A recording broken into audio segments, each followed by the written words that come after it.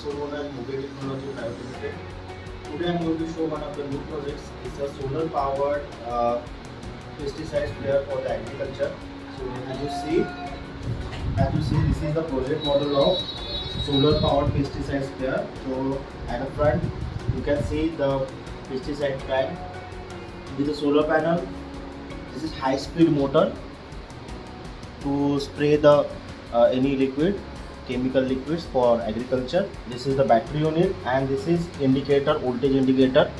Right now it is uh, in green that means battery in full charge. Also this is the one remote. So you can control the movements of this uh, pesticide sprayer robot. And this is one uh, regulator for speed controlling of the sprayer. So let's see how this.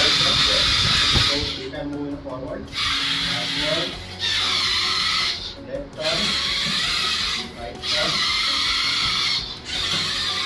right like this. So you can operate any any directions uh, with the help of this remote. Now also you can uh, increase or on the pesticide sprayer by this regulator. As you heard the sound,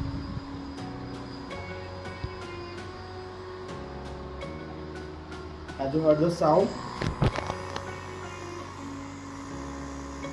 So it is for the regulator which is attached to the motor and that control the speed of pesticide spray. So in this way this solar powered pesticide sprayer for agriculture works. Hope you guys like this type of the project. Thanks for watching. Please like and subscribe us.